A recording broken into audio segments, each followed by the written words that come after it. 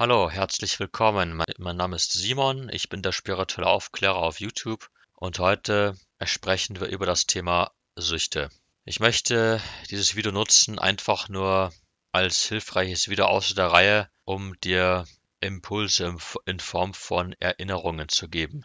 Los geht es. Zuallererst schauen wir uns die Arten von Süchten an, die man so kennt, die häufig vorkommen. Ja? Und da gibt es zwei Arten von Süchten grundsätzlich. Das sind die weltlichen Süchte, von denen man immer, immer, immer die Finger lassen sollte, ja? denen man niemals verfallen sollte. Und dann gibt es noch übernatürliche Süchte und darüber reden wir auch nachher. Also zuallererst mal die Spielsucht, also ins Casino gehen und den Spielautomaten bedienen und bedienen in der Hoffnung, dass man vielleicht gewinnt. Ja. Das ist natürlich ein reines Verlustgeschäft. Du wirst niemals gewinnen. Vergiss es einfach. Das ist einfach nur Geld verlieren. Mehr ist es nicht. Ja. Muss man einfach sagen. Das ist einfach nur nichts anderes als ein abgekartetes Spiel. Man hat einfach mit diesem Spielautomat und den Geräuschen und so weiter die Spielsüchtigen so konditioniert, dass sie einfach süchtig danach werden, einfach Geld in den Automaten reinzutun. Fertig. Mehr ist das nicht. Das ist einfach nur reiner Diebstahl. Ja. Ist einfach nur, ab, ist einfach nur abziehen. Mehr ist das nicht. Also Spielsucht ist einfach nur total unnötig. So, dann nächstes. Computerspiele und Serien. Im Endeffekt muss man auch sagen, deine Zeit, die du darin investierst, ist das Geld für die Hersteller. Mach dir das bitte bewusst. Was bedeutet das? Dass irgendwelche Psychologen sich zusammensetzen und herausfinden, wie die Spiele gestaltet werden müssen und die Serien, sodass sie auch ja eine süchtige Wirkung auf den Konsumenten haben. Und dadurch muss man sie kaufen, um sie konsumieren zu können. Und dadurch ist das Süchtigmachen nichts anderes als ein als eine Maßnahme, um Gewinne zu erwirtschaften. Mehr ist es nicht, ja. Das muss man sich einfach bewusst machen an dieser Stelle, ja. Und deswegen, sieh es einfach ab jetzt als Manipulation an. Wenn du von irgendwelchen Spielen oder Serien süchtig wirst, dann bist du erfolgreich manipuliert worden. Dann haben die dich genau da, wo die dich haben wollten. Das Ding ist, die Zeit, die man darin verschwendet, die kann man auch anders nutzen und vor allen Dingen, man entwickelt sich nicht weiter, ja. Es ist einfach nur berieseln lassen, es ist nichts anderes. Denn Handysucht, genau das gleiche Prinzip. Letzten äh, ist die Aufmerksamkeit von irgendwelchen Apps nichts anderes als das Geld. Es wird mit irgendwelchen Apps da draußen viel Geld gemacht. Deswegen werden die auch so konzipiert, dass du möglichst viel Aufmerksamkeit darin investierst und dann werden vielleicht Werbeanzeigen geschaltet und so weiter, ja. Und mach dir bewusst, Handysucht ist total unnötig. Das ist einfach nur komplett sinnlos. Schreib nur auf WhatsApp, wenn es absolut notwendig ist, lösche alle Handyspiele. Ich habe kein einziges Handyspiel jemals in meinem Leben gespielt. Vergiss das einfach. Das Handy muss für dich einfach nur ein Werkzeug sein, beziehungsweise das Mobiltelefon muss für dich einfach nur ein Werkzeug sein, damit du telefonieren kannst, Nachrichten versenden kannst und die nur die, die wirklich wichtig sind, ja. Oder vielleicht, wenn du was teilen willst. Und das war's. Mehr ist das Handy überhaupt nicht, ja. Also vergiss alle anderen Funktionen von deinem Handy außer der Kontakt zu anderen Menschen. Und zwar, wenn es notwendig ist der Kontakt zu anderen Menschen. Vergiss alles andere. Oder vielleicht schaust du dir ein YouTube-Video an oder sowas oder hörst deine geführte Meditation an. Aber beschränke einfach das Handy auf ein Minimum. Alles andere ist einfach nur unnötig. Und dann kann die Handysucht gar nicht erst entstehen. Dann nächster Punkt. Drogen. Ich denke, da brauche ich nichts dazu sagen. Wir wissen alle, Drogen ist die Finsternis in chemischer Form, nichts anderes. Und vergiss bitte diese leichten Drogen. Ja, vergiss Haschisch, vergiss Gras, ja, vergiss den ganzen Dreck. Weil diese ganzen leichten Drogen sind nichts anderes als künstliche Vorläufer, die erschaffen worden sind, nur um dich später in die härteren Drogen reinzubringen. Es ist nichts anderes als Einstieg. Ja, das ist alles erfunden worden, um dich später in die harten Drogen reinzubekommen. Das ist alles eine riesengroße Verschwörung. Mach dir bewusst, die Dinger sind stärker als du. Da kannst du nur die Leute fragen, die mal in dem Sumpf drinnen waren.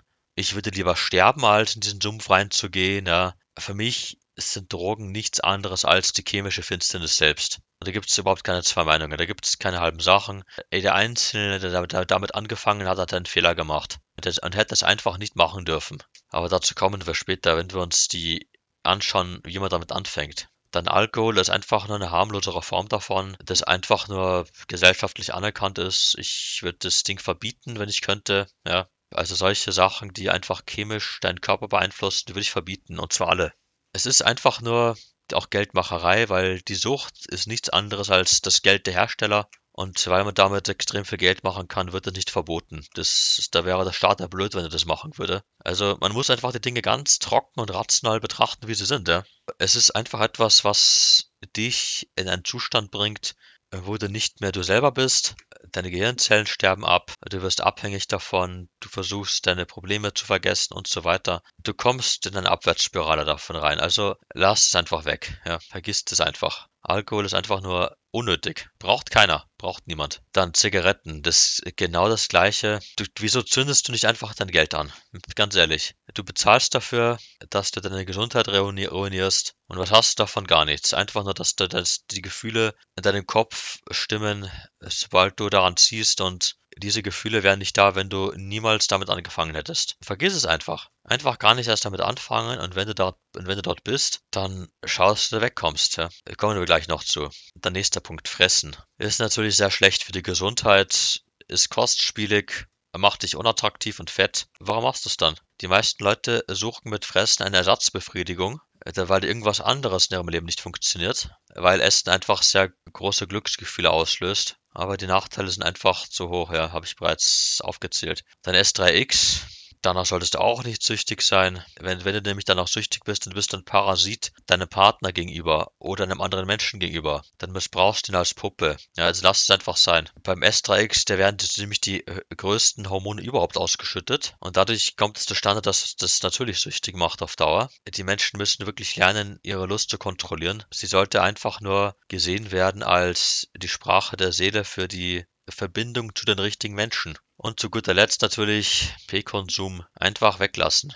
Einfach gar nicht schauen. Vergisst es einfach. Es ist künstlich. Es ist eine Ersatzbefriedigung dafür, dass du kein, dafür, dass du kein S3X hast. Und es macht dein Dopaminsystem kaputt. Das ist bei allen Sichten so. Beim P-Konsum ist es fast so schlimm wie bei Drogen. Es wird Dopamin ausgeschüttet, wenn du dir das anschaust. Früher wurde nur dann Dopamin ausgeschüttet, wenn du etwas geleistet hast, wodurch du die Motivation hast, irgendwas zu leisten. Und wenn du die, die, die Dopaminausschüttung durch einen Mausklick bekommst, dann hast du keinen Bock mehr für irgendwas was wirklich zählt. Und deswegen einfach bleiben lassen. Die NoFap-Community, wo ich auch Mitglied bin, klärt darüber auf, schaut euch dazu einen Vakura an. Ich verlinke ihn euch unten in der Videobeschreibung. Dann ganz kurz noch zu den übernatürlichen Süchten. Der Prozess beim Wachstum.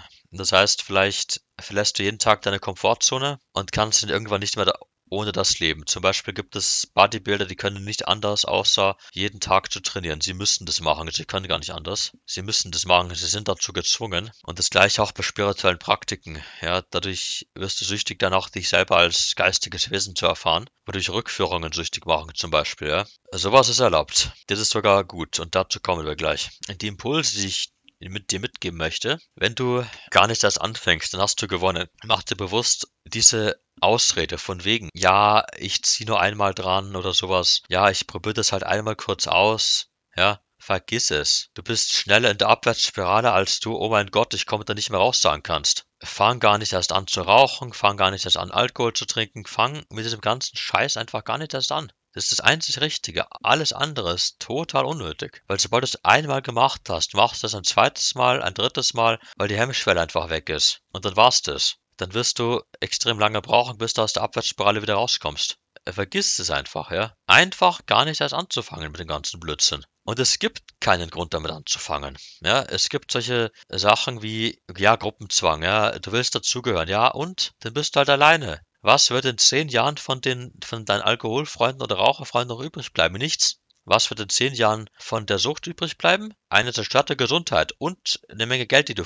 das du verloren hast. Herzlichen Glückwunsch. Also es gibt keinen Grund, wirklich gar keinen, damit anzufangen.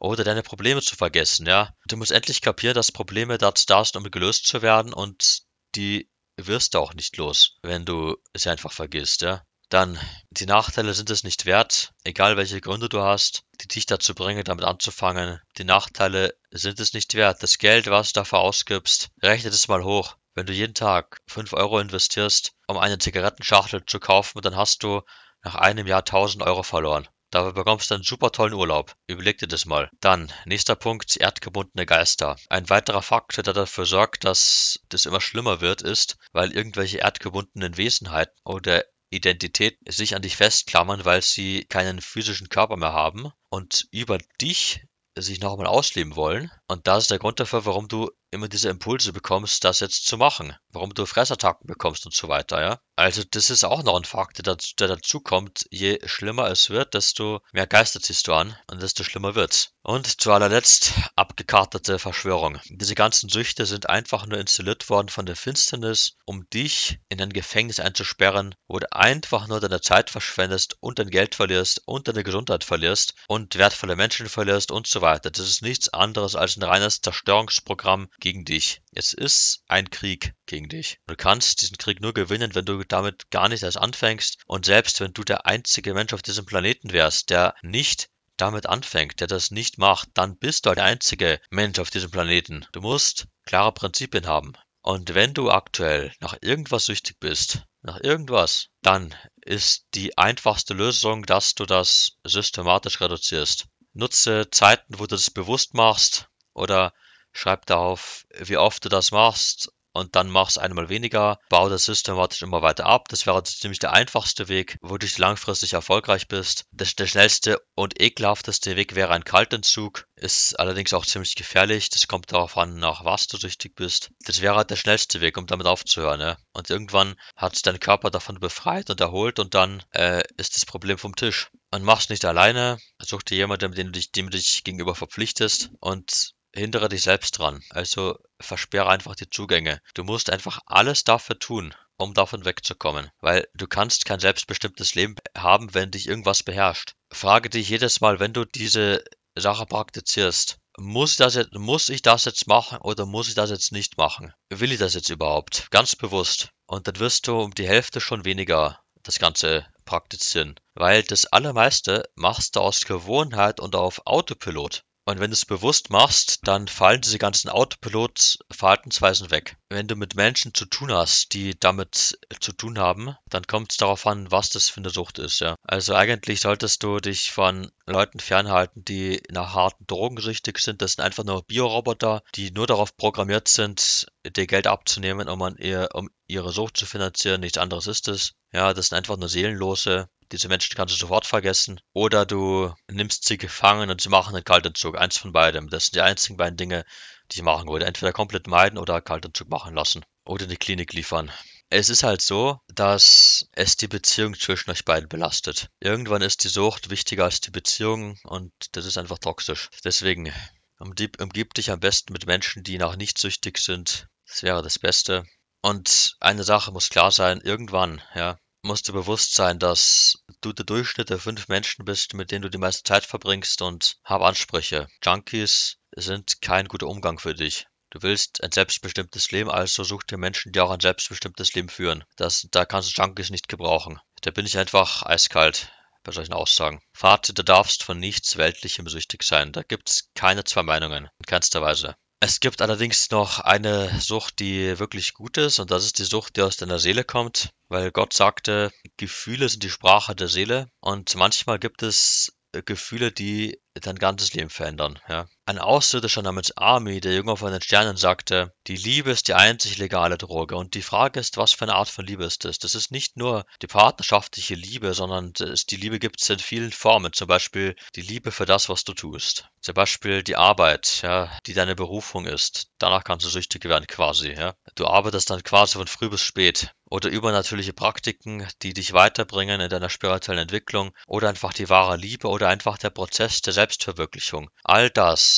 wenn du da noch süchtig wirst, dann ist das ein gutes Zeichen von deiner Seele, dass du weitermachen sollst, ja. Und das ist erlaubt. Das ist sogar gefordert und das ist wunderschön. Ich bedanke mich fürs Zuhören. Ich hoffe, ich habe dir heute einen ganz klaren Impuls gegeben, wie du objektiv zu diesem Thema stehen musst. Und ich hoffe, du hast verstanden, dass es da keine zwei Meinungen gibt. Alles andere, was jetzt dein Verstand sagt, ja komm, man muss ja wissen, wo die Grenzen sind. Nein, einfach gar nicht. Einfach sein lassen. Zu 100 Prozent. Da gibt's nur schwarz oder weiß, weil alles andere führt nur zur Abwärtsspirale. Alles andere führt nur dazu, dass du unnötig Geld ausgibst. Alles andere führt nur dazu, dass du unnötig dein Bewusstsein blockierst, benebelst und so weiter. Völlig unnötig. Die ganzen Nachteile bringen dir überhaupt nichts und da hast du nichts davon. Ja. Und Bewusstsein zu erweitern der Drogen macht auch keinen Sinn, weil das kannst du auch anders machen, ja. Ohne irgendwelche Hilfsmittel, die künstlich sind auch noch. Schreib mir gerne dazu deine Meinungen in die Kommentare. Alles, was von dem abweicht, was ich heute gesagt habe, ist einfach nur von deinem Verstand irgendeine Ausrede, um in dein altes, bequemes Leben zurückzukehren. Wer ist das nicht?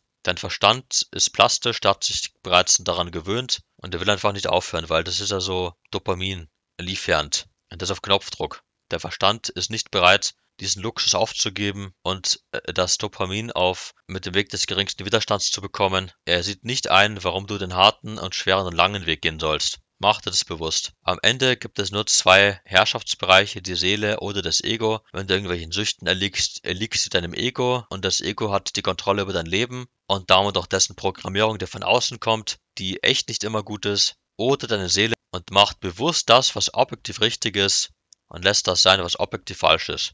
Punkt. Und seid einfach so klar wie ich. Ich bedanke mich und freue mich schon sehr auf deine Fortschritte im Kampf gegen deine Süchte, falls du welche hast, die du nicht haben solltest. Bis dann.